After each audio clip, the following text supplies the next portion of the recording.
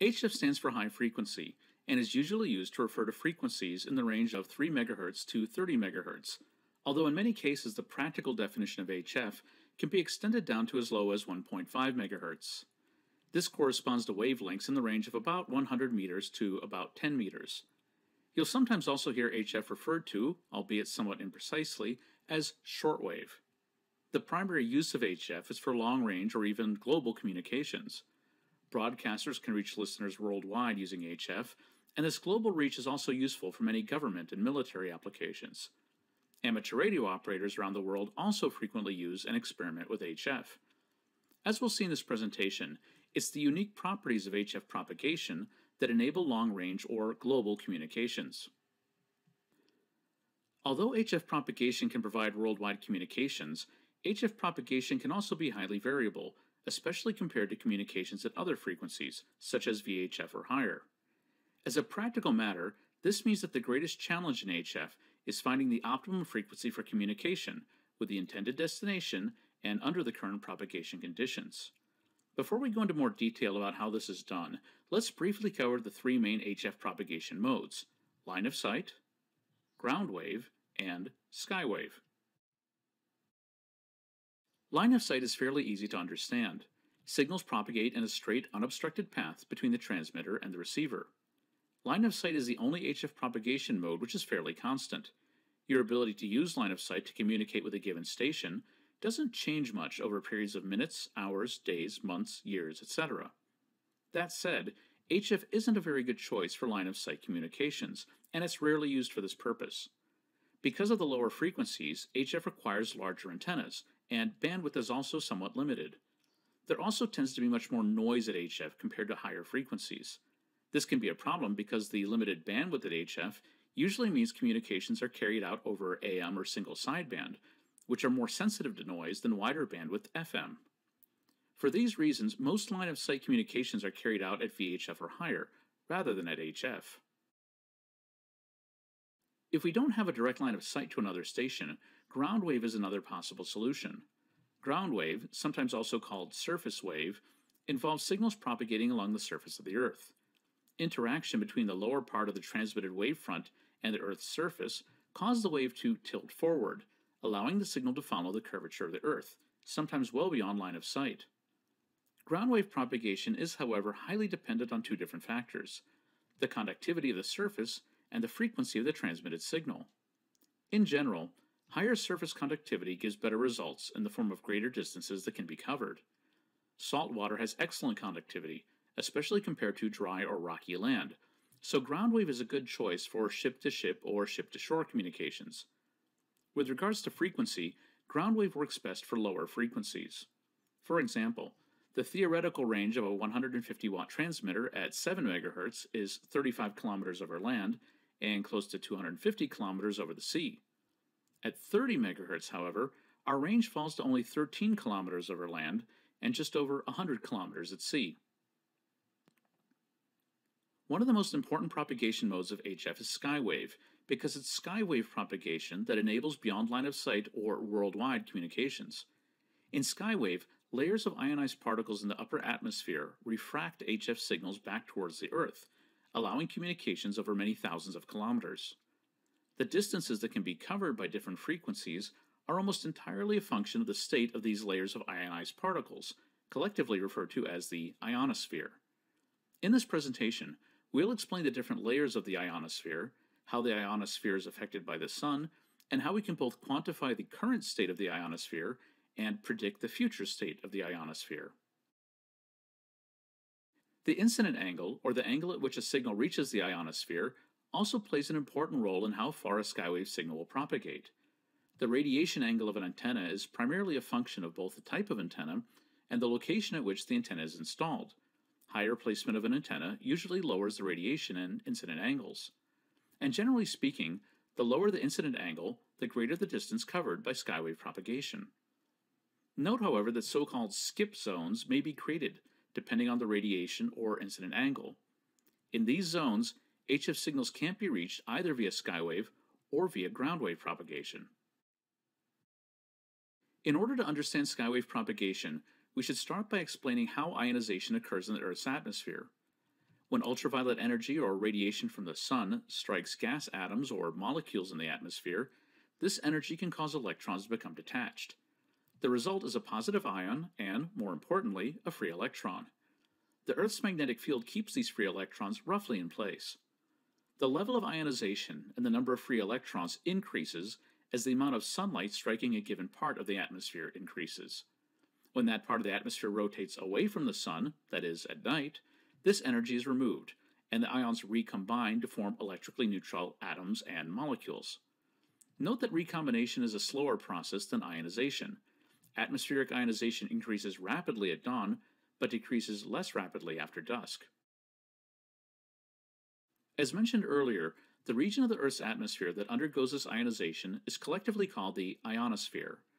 The level or density of ionization in the ionosphere is different at different altitudes, and areas with ionization peaks are often grouped into so called layers or regions. The layers that are important for HF propagation are the D layer from 60 to 100 kilometers, the E layer from 100 to 125 kilometers, and the F layer, or layers, from about 200 to 275 kilometers. Note that these are only rough numbers. The thickness and altitude of ionospheric layers is never constant. The reason for defining these different layers is that each of these layers will refract and or absorb HF signals in different ways. It's important to note that the ionosphere does not reflect signals, but rather refracts signals. The different electron densities at different altitudes is what makes this refraction possible. Let's start with the lowest level of the ionosphere, the D layer. The D layer only exists during daytime hours and disappears at night.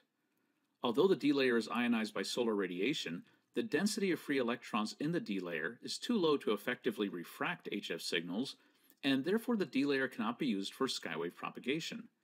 Instead, the D layer acts as an absorber of HF signals. This absorption is higher for lower frequency signals than for higher frequency signals. Absorption also increases with increasing ionization, so absorption is usually highest at midday. For these reasons, the properties of D-layer absorption mean that higher frequency HF signals work better during the daytime, whereas lower frequency signals work better at night, after this layer has disappeared. The next highest layer, the E layer, is the lowest layer of the ionosphere that can refract HF signals back towards the Earth, and is the lowest layer that supports skywave communications. Compared to the other layers, it is relatively thin, usually about 10 kilometers or so. The E layer is much less dense, that is, ionized, during the day, but unlike the D layer, it doesn't completely disappear at night. Aside from mostly short range daytime communications and a few other special cases, E layer propagation is not commonly found in HF. Note, however, that at VHF, the E layer is very important and supports some rather exotic and less predictable propagation modes, such as sporadic E. And these modes make long distance communication over thousands of kilometers possible, even at the relatively high frequencies of VHF. The F layer is the most important for skywave propagation. During the day, the F layer splits into two sublayers, F1 and F2, which merge back into a single layer again at night. Compared to the D and E layers, the height of the F layers changes considerably based on things such as time of day, season, and solar conditions. More on this shortly. The lower F1 layer primarily supports short to medium distance communications during daylight hours. The F2 layer, on the other hand, is present more or less around the clock. It has the highest altitude and the highest ionization of all the layers, and is therefore responsible for the vast majority of long distance HF communications. The degree to which the different layers of the ionosphere refract and or absorb radio frequency signals is largely a function of that signal's frequency.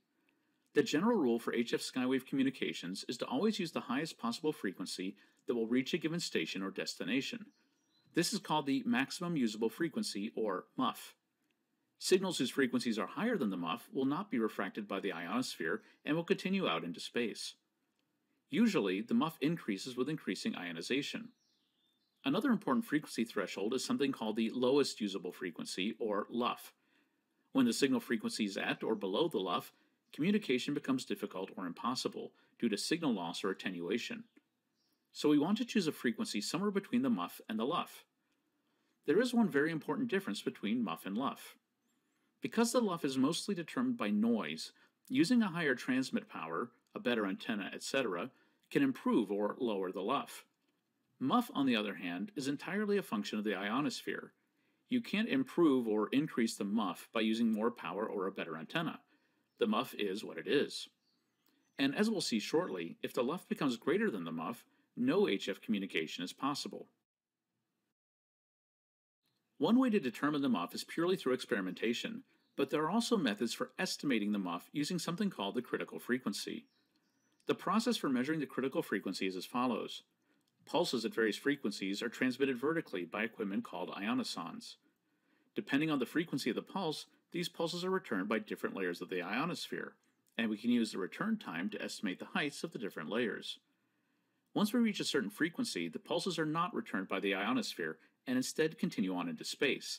This is the critical frequency. Critical frequency is a function of both the current ionizational level as well as the measurement location. It's measured regularly at hundreds of locations around the world. Mathematically speaking, the maximum usable frequency is the critical frequency divided by the cosine of the angle of incidence. If we send a signal straight up at 90 degrees, MUF and critical frequency are the same. But as a practical matter, the maximum usable frequency is usually estimated at 3 to 5 times the critical frequency. Critical frequency is one way of quantifying the state of the ionosphere, but this is an active test. We transmit signals and measure the return signals. In addition to critical frequency, there are three common passive methods that are used to quantify the state of the ionosphere. The first of these is sunspot number, which can be used to predict the level of atmospheric ionization. The second is the solar flux index, which is an actual measurement of ionization. There are also two geomagnetic indices, the A index and the K index, which give an indication of the impact of solar particles on the Earth's magnetic field. Taken together, these quantities provide a good indication of the current state of the ionosphere and can be used to predict HF propagation. Let's take a look at each of these three quantities in a bit more detail. Sunspots are, relatively, cooler surface regions of the Sun. Relatively in this case means they have temperatures around 3000 Kelvin versus the normal 6000 Kelvin seen elsewhere. After they appear, sunspots last between a few days and a few months. Sunspots are associated with powerful magnetic fields, and these fields affect how much radiation is given off by the sun. The greater the number of sunspots, the higher the level of solar activity and radiation. Because of this, more sunspots generally means higher atmospheric ionization, a higher MUF, and better overall HF propagation. The quantitative measure of sunspots is sunspot number, which is a daily measurement of sunspots. Note, however, that sunspot number isn't simply a count of the number of sunspots. It also takes into account additional factors like the size and grouping of sunspots. Sunspot number is recorded by a number of solar observatories around the world, and sunspot numbers range from 0 to a maximum recorded value of about 250. As mentioned a moment ago, more sunspots, or a higher sunspot number, almost always means better HF propagation. It's also worth noting that sunspot data has been collected for almost 400 years, giving us valuable information on how the number of sunspots has changed over time. And sunspot numbers do change over time. In fact, sunspot activity follows a roughly 11 year solar or sunspot cycle, as shown in this graph. Generally speaking, sunspot numbers are usually around 150 at the peak of a cycle, during which time HF propagation is very good on most frequencies, including higher frequencies. At the bottom or trough of the sunspot cycle, sunspot number is close to zero, meaning much poorer HF propagation. Given the period of the sunspot cycle, it should be clear that sunspot cycle is good for long-term predictions of HF propagation, that is, in terms of years, and over this time period it is fairly reliable. It is, however, worth noting that at several points in history, for example, in the late 1600s and the early 1800s, sunspot numbers stayed low for several decades, creating so called minimums or minima with very little solar activity. The reasons for these minima are still very much a mystery. We can also quantify solar activity by measuring the level of solar noise, or flux, at a frequency of 2800 MHz.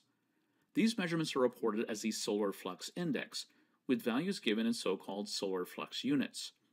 Measured solar flux values generally fall in the range of about 50 during a solar cycle minimum to about 300 during a solar cycle maximum. Since solar flux is a measurement, not an observation, it tends to be more consistent and reliable than sunspot number, but it also doesn't have the same 400 year history of values. However, solar flux values tend to correlate quite well with sunspot numbers. Like sunspot number, higher values of solar flux mean higher maximum usable frequencies and better HF propagation. Sunspot number and solar flux index are valuable measures of longer term variations in solar radiation. The ionosphere is also affected by shorter duration events occurring on the Sun. The most important of these are solar flares, which are a type of eruption on the surface of the Sun. Solar flares cause a rapid rise in both X ray and ultraviolet radiation, as well as the ejection of both low and high energy particles. Solar flares are essentially unpredictable, but do occur more commonly during peaks in the 11 year solar cycle. Solar flares have a significant effect on HF propagation because they can lead to sudden ionospheric disturbances, polar cap absorption, as well as geomagnetic and ionospheric storms. As the name implies, a sudden ionospheric disturbance is sudden. It occurs about eight and a half minutes after a flare, that is, at the same time the flare becomes visibly detectable on the Earth, and is caused by the arrival of solar radiation. This radiation causes D-layer ionization, and hence D-layer absorption, to increase rapidly, starting at the lower frequencies and moving upwards. The affected frequencies are often almost completely blacked out. Fortunately, a sudden ionospheric disturbance only impacts the sunlit hemisphere and tends to last a relatively short time, typically about an hour or so. And in some cases, smaller solar flares can actually enhance HF propagation by increasing ionization at higher frequencies without a corresponding increase in D-layer absorption. The next effect of a solar flare is something called polar cap absorption. The high energy particles emitted by a flare reach the Earth several hours later, and the Earth's magnetic field prevents them from entering except at the poles. Once they enter the atmosphere, these particles can increase D-layer absorption in the polar regions, and this effect can last for several days. During this time, HF signals traveling through or near the poles will be blocked by the increased attenuation, but paths that do not go near the poles may remain relatively unaffected during this event. Geomagnetic storms are caused by lower energy particles arriving at the Earth. This occurs 20 to 40 hours after a solar flare. These particles can also be generated during something called a coronal mass ejection or CME, which can occur independently of a solar flare. In either case, these particles can cause geomagnetic storms. Geomagnetic storms produce visible aurora, but they can also interfere with GPS signals, satellites in general, terrestrial power distribution networks, etc. Geomagnetic storms don't directly interfere with HF propagation, but they can create ionospheric storms. Ionospheric storms lower the maximum usable frequency and do degrade HF propagation. And as mentioned earlier, if the MUF falls below the LUF, an ionospheric storm can create a complete HF skywave blackout. One final note it is possible to have a geomagnetic storm without an ionospheric storm, but the converse is not true. All ionospheric storms start out as geomagnetic storms. Sunspot number and solar flux index can be used to quantify ionospheric conditions, but to quantify geomagnetic conditions, we use A and K indices. In general, lower values for A and K mean a more stable ionosphere, although, as we just mentioned, in some cases a geomagnetic storm may not lead to an ionospheric storm. A and K are measured at observatories around the planet, and these local values can be averaged to produce planetary values. One of the biggest differences between these two indices is that A is calculated daily, whereas K is measured every three hours. Higher values of K indicate a current or ongoing geomagnetic event, whereas A is useful in knowing how long this disturbance has been occurring.